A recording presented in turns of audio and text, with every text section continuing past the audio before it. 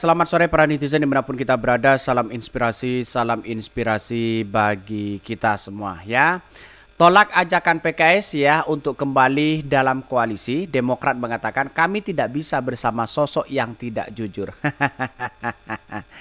ya ini gagal move on atau apa begitu. Yang jelas ya narasi-narasi yang dibangun oleh kader-kader Partai Demokrat hari ini ya memojokkan Anies terus begitu. Ini bagi bagi saya blunder begitu kan. Itu masih sakit hati begitu ya. Ibaratkan begini, Partai Demokrat itu masuk ke koalisi Pak Prabowo, masuk atau masuk ke koalisi Pak Ganjar, tapi pikirannya itu ke Anies Baswedan. Kira-kira seperti itu begitu. Saya kira bahwa nanti kalau gabung kedua-duanya begitu ya, dia pasti memikirkan bagaimana yang mengalahkan Anies Baswedan mereka begitu kan ya. Pasti ambisinya seperti itu begitu. Padahal dari dari koalisi Prabowo dan Pak Ganjar tidak dibutuhkan amat kok begitu kan. itu itu menurut saya pribadi uh, menganggap bahwa kenapa Partai Demokrat selalu mengkritisi uh, Pak Anies Baswedan begitu kan ya. Ya karena dalam pendidikan politik dari uh, uh, apa namanya dari Partai Demokrat agak kurang begitu kepada kader-kadernya begitu kan. Emosi emosional, baperan dan sebagainya begitu ya. Bahkan ini saya kutip dari si Ajeng begitu ya. Tolak ajakan PKS untuk kembali dalam koalisi. Demokrat kami tidak bisa bersama sosok yang tidak jujur katanya begitu ya. Padahal komentar-komentar netizen banyak sekali pro dan kontra begitu ya.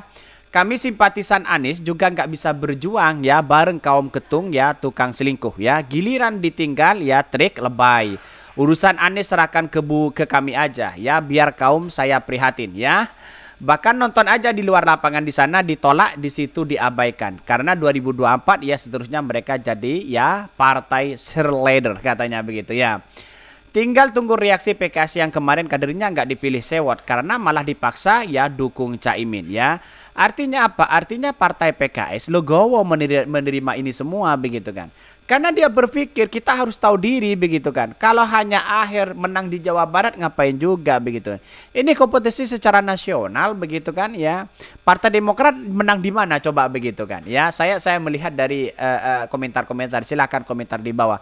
Kalau Partai Demokrat ya AHY misalnya begitu kan. Menang di daerah mana coba? Di Jawa Timur jelas kalah ya. Di Jatim jelas kalah, di Jawa Barat jelas kalah begitu. Apa ya? Mesin politik di Partai Golkar ini yang bisa ya mendongkrak elektabilitas Anies Baswedan kalau memang terjadi. Karena tidak ada di situ begitu kan. Coba kalau Caimin di Jawa Timur akan menang begitu kan. Di di Jawa Tengah akan menang. Ah, di Jawa Barat sudah lumbungnya PKS sudah jelas-jelas menang begitu kan.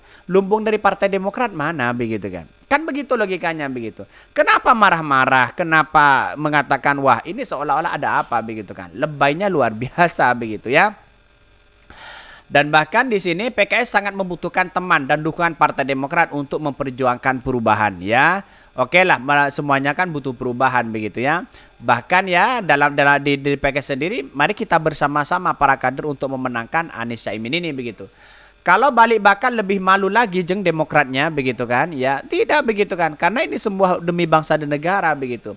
PKS itu hanya ya basa-basi ngajak kembali karena Partai Demokrat kelihatan seperti anak ya kehilangan induknya padahal dalam hati ya bodoh amat siapa pun yang minggat baperan Tanda-tanda partai ialah bakal hancur di linglung ya dengan partainya sendiri harus dengan siapa berlabuh begitu. Ya yang saya katakan begitu Partai Demokrat kan tidak butuh-butuh amat kepada uh, uh, apa namanya Prabowo tidak butuh-butuh amat kepada Partai Demokrat begitu kan. Begitu pula kan sebaliknya dari Pak Ganjar begitu. Ya santai-santai aja menyikapi mereka begitu kan. Karena sudah tahu mereka akan berlabuh ke mana toh tidak punya dampak yang sangat luar biasa begitu kan. Dampaknya apa coba begitu kan. Ya pasti dampaknya ya satu begitu gitu kan ya. Karena sebagai elektoral mereka yang mau gabung kepada Pak Prabowo ya dampaknya tidak begitu amat untuk kemenangan Pak Prabowo begitu kan. Pasti kader-kadernya fokus untuk mencalonkan diri sebagai caleg apalagi caleg baru di situ begitu ya. Bahkan ya tolak ajakan PKS untuk kembali ke dalam koalisi Demokrat kami tidak bisa bersama sosok yang tidak jujur. Atau komentarnya seperti terus begitu ya. Partai Demokrat menghormati keinginan Partai Keadilan Sejahtera PKS yang mengharapkan partai ya dipimpin oleh Agus Harimurti Yudhoyono itu kembali ke koalisi perubahan ya untuk mendukung Anies Baswedan sebagai capres di situ. Koordinator ya jubir DPP Partai Demokrat Harzaki Mahendra Putra mengapresiasi sikap PKS yang menjaga etika dalam koalisi.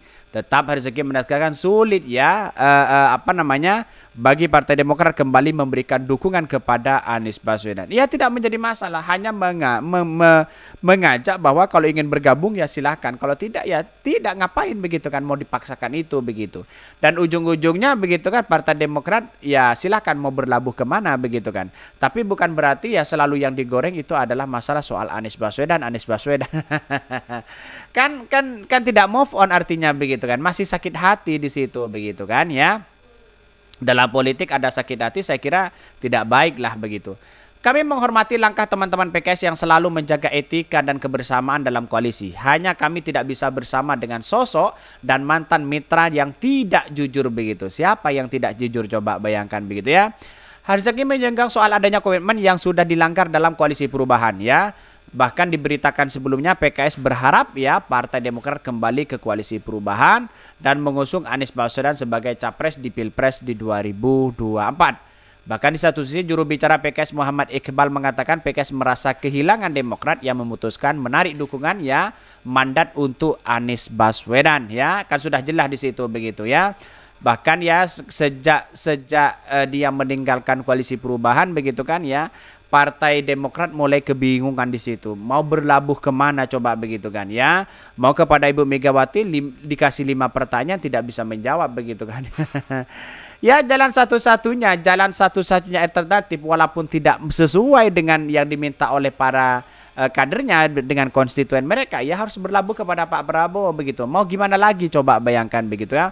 Mempertahankan gimana lagi coba begitu ya. Kalau ujung-ujungnya sana sini ditolak begitu, sana sini ingin menyodorkan cawapres, sana sini ya seolah-olah menjadi partai punya masa yang banyak tapi kan ujung-ujungnya kan seperti itu begitu ya.